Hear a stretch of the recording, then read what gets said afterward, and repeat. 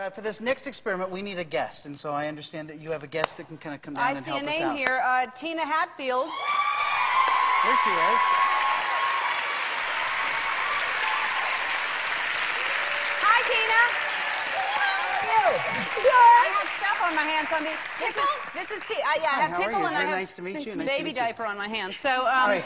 Uh, so, so here's what I need to have you do for me, if you don't I guess mind. you were picked because you said you were up for anything. That's what you said. Somebody told me. So, So, where the safety Where glasses, do you if live? you don't mind. Coeur d'Alene, Idaho. Oh. Cor- you don't have a mic, do you? You didn't bring a mic with you. No. All right, uh, Coeur d'Alene, Idaho, and what what do you do there? I'm a legal assistant. Fantastic. Well, thank you for being here.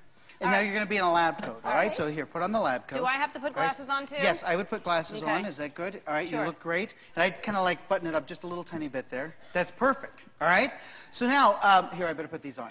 All right, so now, uh, Ellen, when you uh, were a kid and you had like uh, little magic tricks or whatever, you remember disappearing ink? No, I never had a magic, magic trick. Steve, go ahead. Okay. Well, this is your, then maybe this will be your first one. This is disappearing ink, and so I wanted to show you how it kind of works. So here, come off to the side if you don't mind here like this. So here's what you're going to do is uh, I'm going to take the ink, and let's just say that you were in like a little accident, and this just kind of happened. See how that works? All right, so here, Ellen, you can have a little accident there. There you go.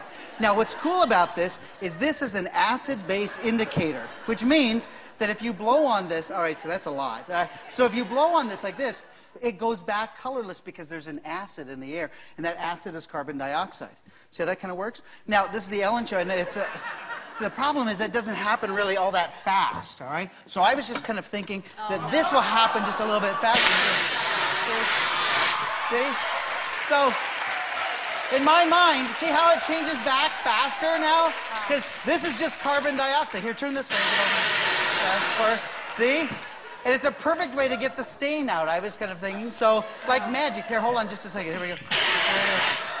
See, like magic, it's gone. So isn't that fun?